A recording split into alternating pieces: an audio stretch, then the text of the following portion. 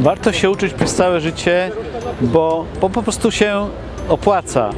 I to uczenie zazwyczaj pozwala nam poruszać się w bieżących chwilach i odpowiedzieć na wyzwania nowych czasów i, i nowych sytuacji, tak jak właśnie było w przypadku e, pandemii. Ale to też ma bardzo dobry wpływ na naszą osobowość, na nasze poczucie aktywności. Kiedy się uczymy, wydaje się nam, ale nawet jesteśmy pewni, że z powrotem jesteśmy młodzi i to nam przedłuża e, naszą młodość. Dlatego do osób w wieku średnim i starszym apeluję, uczmy się przez całe życie, bo to przedłuża naszą młodość i młodość e, naszego mózgu.